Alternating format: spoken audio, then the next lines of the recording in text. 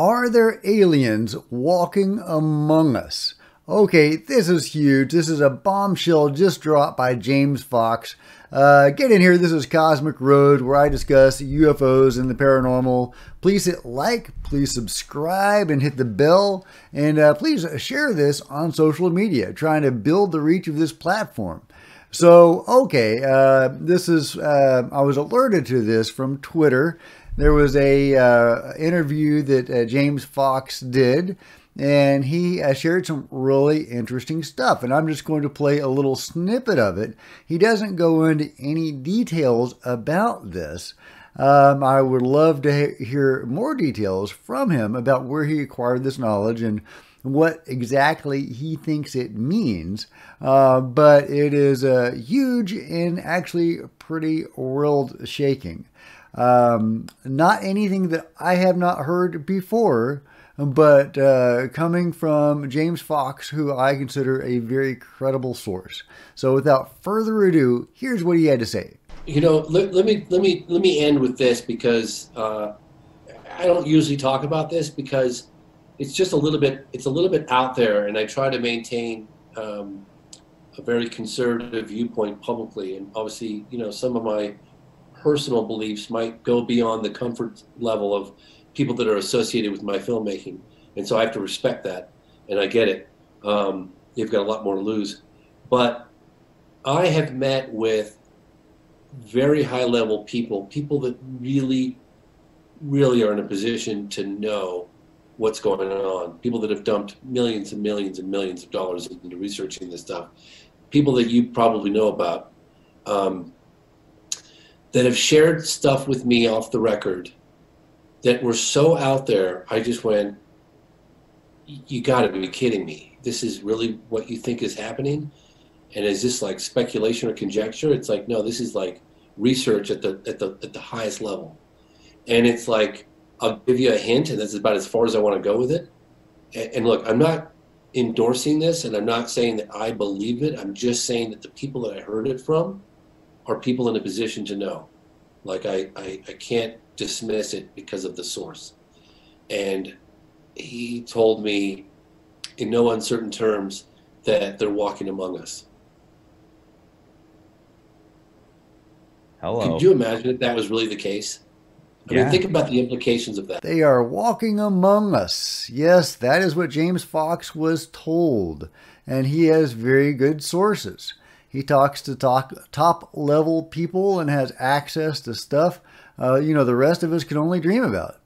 And uh, he is one of my favorite filmmakers on the subject. In fact, uh, he, is my favorite filmmaker on the subject.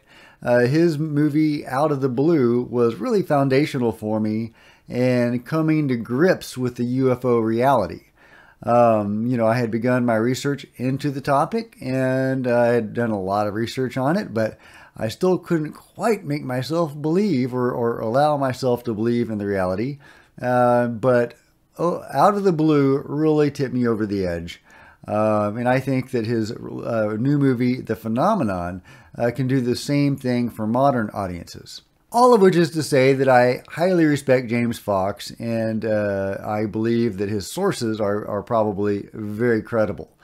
Now, the idea the aliens are walking among us has been around for a long time.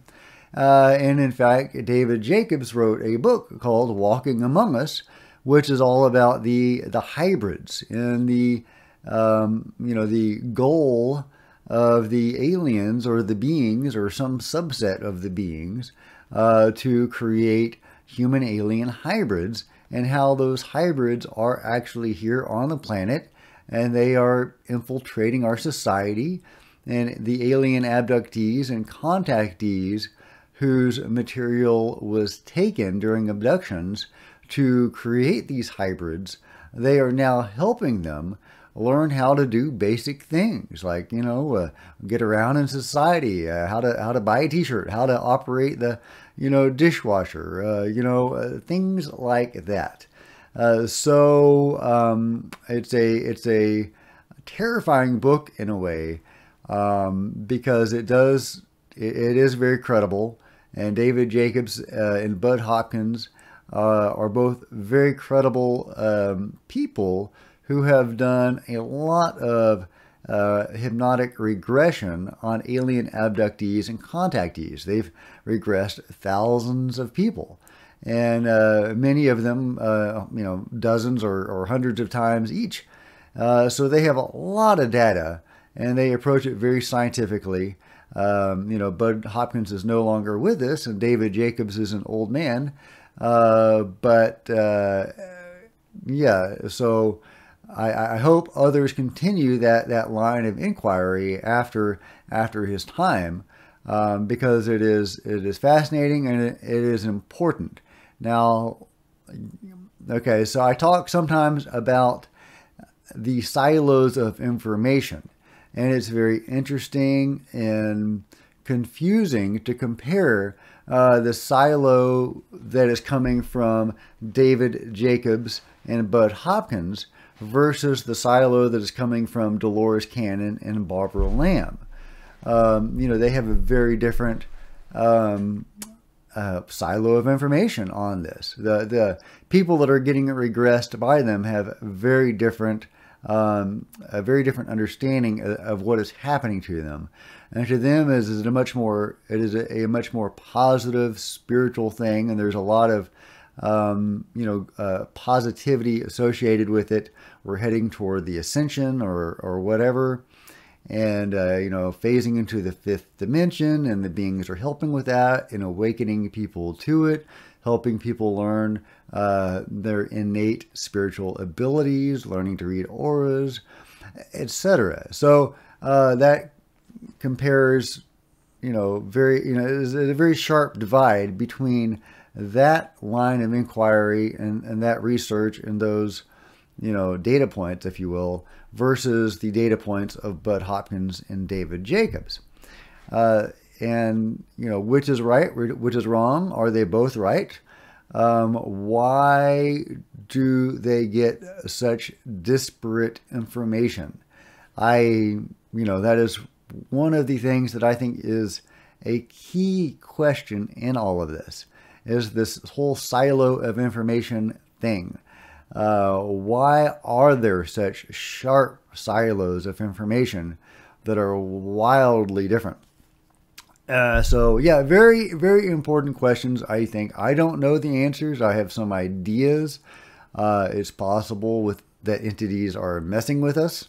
Uh, I think that's very possible. Possibly uh, different people who are experiencers gravitate toward different researchers for whatever reason, whether they're steered there or they just resonate with a particular person. I don't know. But getting back to James Fox and his assertion that they are walking among us, from the research of uh, David Jacobs, especially, and the uh, thousands of people that he has regressed, um, yeah, it, it, appears they are walking among us. Um, they, they, there are alien human hybrids, and they are here. There has been a long-standing uh, hybridization program that is the reason, or one of the major reasons behind the abduction phenomenon. And this has been going on for a long time. Uh, you know, who knows for how long? You know, at least since uh, the days of Barney and Betty Hill. Uh, but you know, it could be thousands or, you know, years old. Uh, uh, they could have created us and just uh, continuing their project. Um, so, you know, it's, it's, this is important stuff and it's an important question. Um, and I believe there's probably a lot of cover up about this. Uh, if indeed the U.S. government is working with the beings and assisting in abductions, as appears to be the case from the, the accounts of many, many uh, UFO abductees, alien abductees. They often report that uh, officials, government officials, U.S. government officials, are working with the beings and are there in our presence uh, often while the beings are, are carrying out their, um, their, their sorry, my phone just rang. Uh, but yeah, the, uh, um, the, the government officials are often present during the abductions. So um, if that's true, then uh, it's not surprising that the uh, government would be covering this stuff up. So uh, it's you know why one reason to be very skeptical of uh, you know government disclosure, uh, or or at least skeptical that they're going to provide any sort of disclosure. Um, you know, a lot of the stuff is actually coming from outside of the government. Uh, Lue Elizondo had to leave the government uh, to get this whole ball rolling, and that could be why. But yeah, so from my research, um, it does appear that they are walking among us, at least the hybrids, and presumably uh, any other races that want to be walking among us, they, they have the abilities to, to do that. If you want to never sleep again, read David Jacobs' book, Walking Among Us. Very sobering stuff. But it's also fascinating that that contrasts sharply with the other major silo of information, which is Barbara Lamb and Dolores Cannon, which have a much nicer, rosier tinted glasses way of seeing this.